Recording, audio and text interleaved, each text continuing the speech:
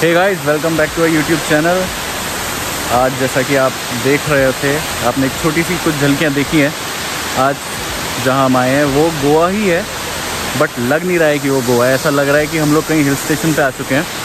और हम लोग का मकसद भी आज का व्लॉग बनाने का यही है कि गोवा का नाम सुनते ही हम सबको लगता है कि बीचेस बीचेस और शैक्स और हट बट थैंक्स टू हैरी पाजी अगेन उन्होंने हमको ये जगह एक्सप्लोर कराई है साउथ गोवा में। नाम इसका थोड़ा सा कंफ्यूजिंग है। बारा बुडो। बारा बुडो? बाबन बुडो। बाबन बुडो नाम करके है। मैं थोड़ा सा कंफ्यूज हो जाता हूँ। और मैं एक नज़ारा दिखाता हूँ। बाद में डिटेल तो पाजी भी बताएँगे यहाँ पे कैसे आना है। वो थोड़ा सा वो ब्रीफ कर सकते हैं। मिल जाएगा आपको। आप बामन बुडो वाटरफॉल डालोगे तो आपको नेट पे मिल जाएगा। और ये कानकोन में पड़ता है। जो कानकोन एरिया है यहाँ का उसके पास है। वहाँ से अराउंड ट्वेंटी किलोमीटर है।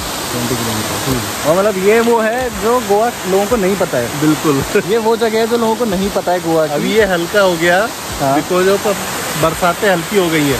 हाँ। ये पहले बहुत भर के आ रहा था यहाँ तक पानी आता था ऊपर भी काफ़ी। ऊपर तक आता हूँ। राइट तो बस अभी पूरा ऐसे माहौल यहाँ पे एकदम शांत भरा हरियाली पीछे ये साउंड मतलब लग ही नहीं रहा है कि हम लोग गोवा में हैं।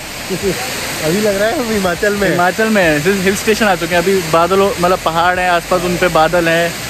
तो पूरा अलग ही माहौल हो रखा है वो। सीधे हिमाचल पहुँचा दिया मैंने इनको। सीधे हाँ। बैठे बैठे अगोंडा में और सीधे उतरे हिमाचल में। ऐसा हुआ। ये सही ट्रिप थी हाँ। ये अच्छा है। हाँ। तो ये सामने झरना आ रहा है। नीचे रास्ता भी है मैं दिखाता हूँ आपको। ये देखिए।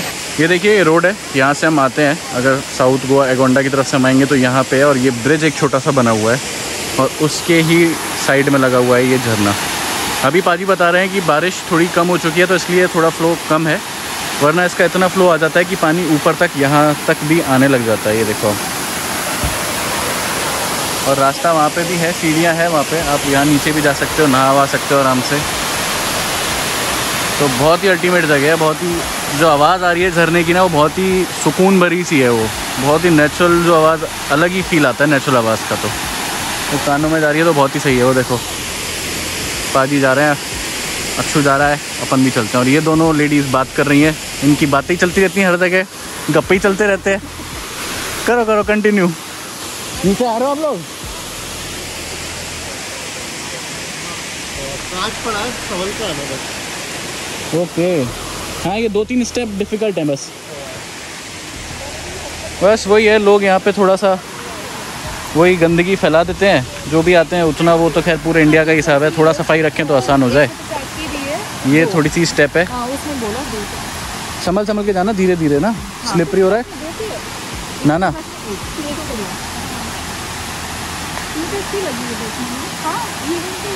दीक्षा झुक झुक के जाना थोड़ा सा।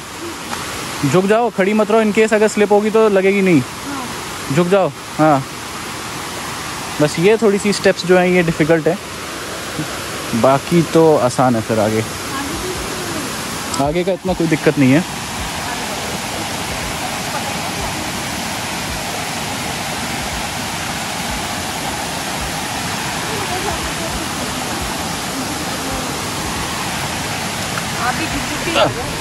यस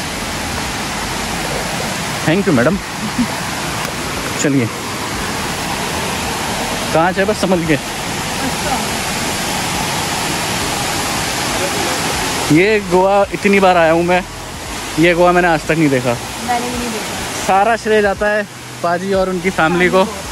इतनी अल्टीमेट कंपनी हमको मिली है जो इतनी बढ़िया जगह घुमा रही है वरना कॉमन जगह तो हर कोई बता देता है कि भाई ये है वो है। अपार्ट फ्रॉम बीच गोवा क्या है? गोवा ये देखा ही नहीं है किसी ने। हाँ।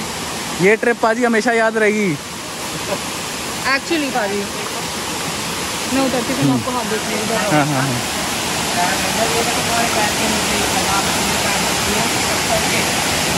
ये देखिए बहुरिया उतरने की कोशिश कर रही है। मैं भी उतर जाता हूँ। तो नाइस ये देखिए। फ्रेश वाटर और कितना ठंडा पानी है। नाइस बहुत ही ठंडा पानी और ये देखिए। ये उस तरफ़ जाता हुआ। ये झरना। ये कोई वहाँ पे वो बनाया हुआ है। इसको मैं तोड़ता हूँ। मैं तोड़ूँगा।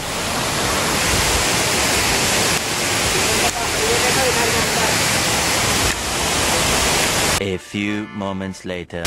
इसकी ऐसी की तैसी। तोड़ दिया। वो बना रखा था किसी ने।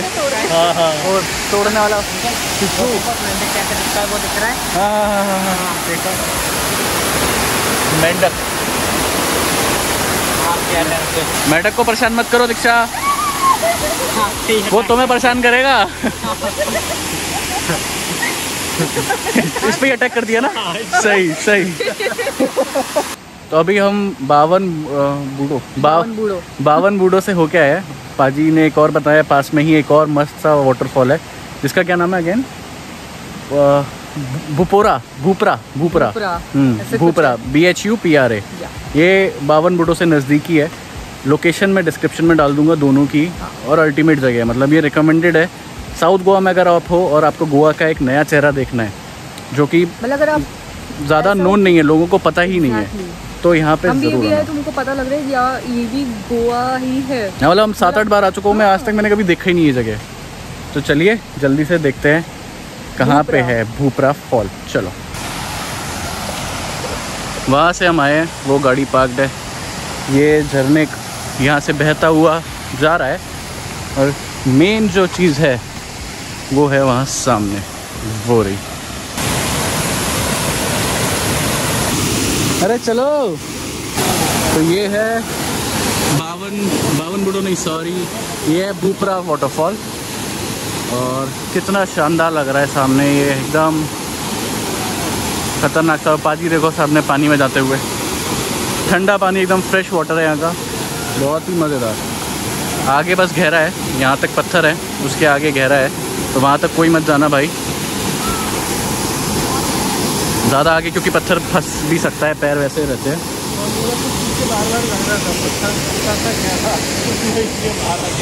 और ये अभी जैसे सूखा हुआ है थोड़ा सा एरिया लेकिन जब फुल मानसून सीज़न होता है, तब ये पूरा पानी भर के पूरा ये एरिया भर जाता है। और यहाँ पे आप खड़े नहीं हो सकते, पूरा पानी से भर जाता है ये।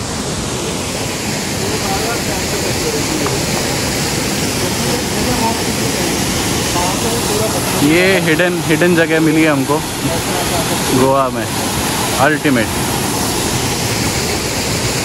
बना रखा है ना एकदम बहुत ही एकदम नेचुरल सा कैसे बढ़िया एकदम बना है।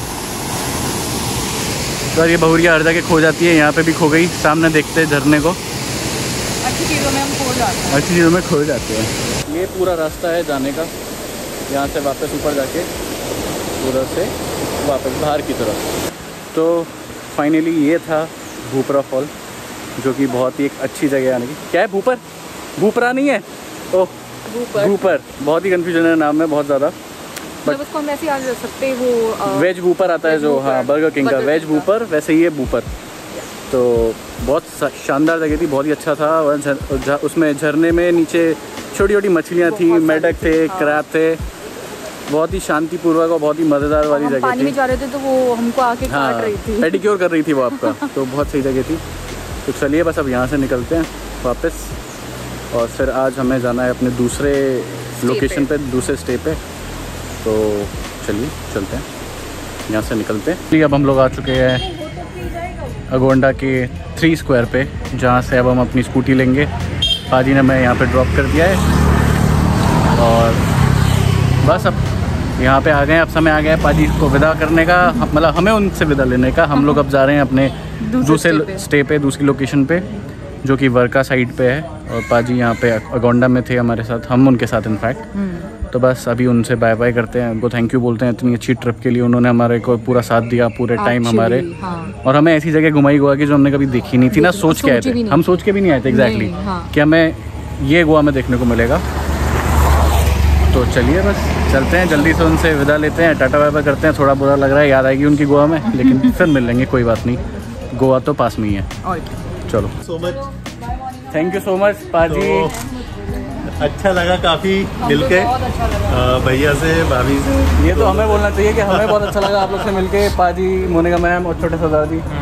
नहीं अच्छा लगा बहुत आप आए हम भी घूम लिए आपके बहाने से ना। और वही वही मैं बोल रहा हूँ। मतलब ऐसा ऐसी जगह घुमाई है उन्होंने जो हम सोच के भी नहीं आए थे हमें लग भी नहीं रहा था कि ऐसे देखने को मिलेगा। हाँ।